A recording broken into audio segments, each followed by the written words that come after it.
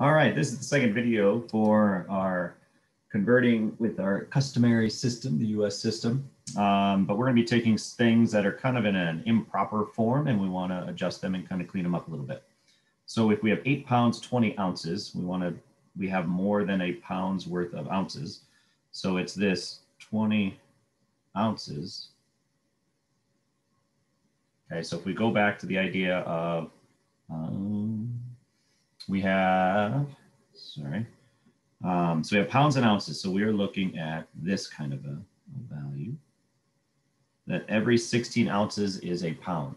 So if you have 20 ounces and every 16 ounces is a pound, um, you have, we take 16, we're basically looking to see how many 16, how many 16s can we take out of 20, which is one. And then out of that, we're gonna have one pound and then four ounces. Okay, so if we had eight pounds, 20 ounces, but we're taking a pound's worth of ounces out, that's going to make that nine pounds, four ounces. Okay, so kind of the math to this is you're taking 20, you're dividing it by 16, it goes into it one time with four left over. Okay, so that four represents your four ounces. Okay, um, so all of these are going to have that kind of similar feel to it. So you have one gallon, five quarts. Um, so then you're looking at, let's see, we have gallons and quarts. So we got gallons, quarts. Every four quarts is a gallon. So five quarts is going to be equivalent to one gallon, one quart, because we're taking five and we're dividing it by four.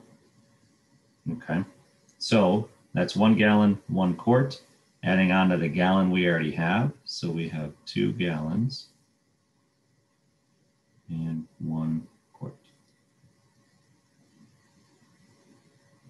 Okay.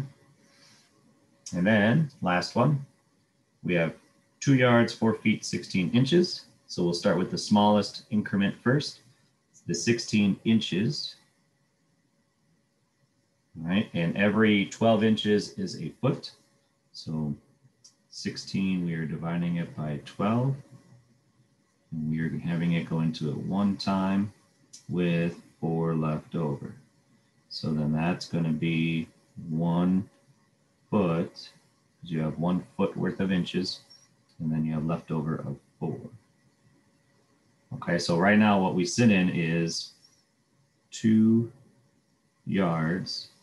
You had four feet, we're bumping it up by one. And then uh, the 16 inches is gonna turn into four inches. So inches is done. However, we're talking about yards and every three feet is a yard. So we have one yard worth of feet. So then we'll do this again. So we have five feet. Okay, so we're going to divide that by three and it goes into a one time, two left over.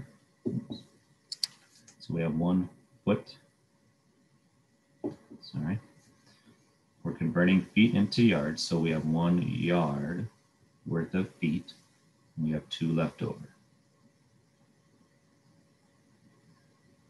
Right, so then that thing becomes one more yard, two feet, four inches. So we have a couple different conversions on that one. All right. And then uh, adding and subtracting is going to kind of have a similar feel to that. So if you're going to be adding and subtracting, um, you're going to have, let's see, we're going to and write the answer in standard notation. So that's what we were doing on this last one. So um, we are going to add six pounds, seven ounces with three pounds, 13 ounces. Okay, so put that over here. So six pounds, seven ounces, we're adding three pounds, 13 ounces. So that gets us nine pounds, 20 ounces. But again, that 20 ounce is one pound worth. So our nine becomes a 10 pounds. And then we take a 16 ounces out of that. So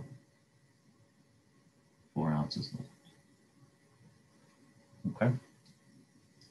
Uh, and then if we go to subtraction, we have five feet, three inches. We're subtracting, oops, read the directions. We are subtracting this one from this one. So we have seven feet,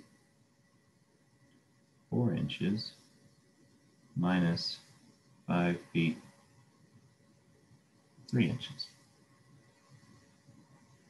So um, as we go through this, three inches minus uh, four inches minus three inches is no problem. So that's one inch. And then two, uh, seven feet minus five feet is two feet. So subtraction is, works out good on that one. But it's not always the case. Not that it can't work out. It's just going to be maybe a little bit more complicated. So this is going to be one of those that we're going to take um, three pounds, 12 ounces, and we're going to subtract it from seven pounds, eight ounces. So seven pounds, eight ounces minus three pounds, 12 ounces. All right, so the problem with that is it's taking eight minus 12. You're not supposed to get a negative out of this because you have seven pounds in general and you're subtracting three pounds. So you're gonna get a positive number. So in order to resolve that, we need to we need to borrow. We need to fix it by borrowing. So we're gonna borrow one pound in ounces. So then this value, we're gonna borrow one pound. So it's six pounds. but our eight ounces is gonna be bumped up with a pound's worth of ounces. So we're gonna add 16 to that, making it 24. And now when we subtract our three pounds, 12 ounces, we are looking okay. So 12 minus, uh, 24 minus 12 works out fine. So 12 ounces, 24 minus 12 is 12, and then 6 minus 3 is 3. So 3 pounds, 12 ounces. All right. Then we have two more. So multiplying and dividing. So uh, you got a tank that holds 21 gallons, three quarts of weed killer. How much does eight containers hold? So you have eight of them. So we're going to be multiplying eight of those. So um, if you're going to multiply, you can treat this separate.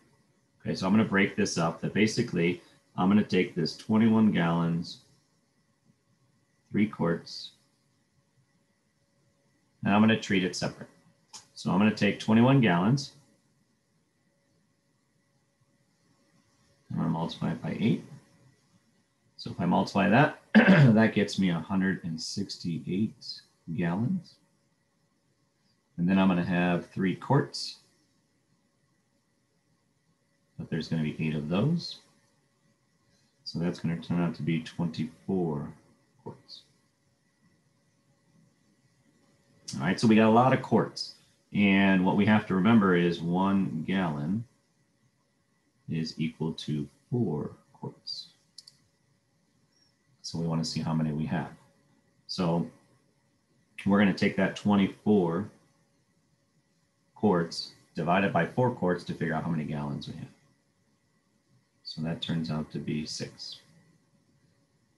All right, so six gallons. So we had 168 gallons, 24 quarts is equal to six gallons. So then together, that we're going to add those two together and that gets us 174 gallons. Okay, so kind of similar to adding, where you're going to get potentially when you multiply, most of the time probably when you multiply, you're going to get that smaller value is going to be more than what you need. So you'll have to convert that. All right. And then last one.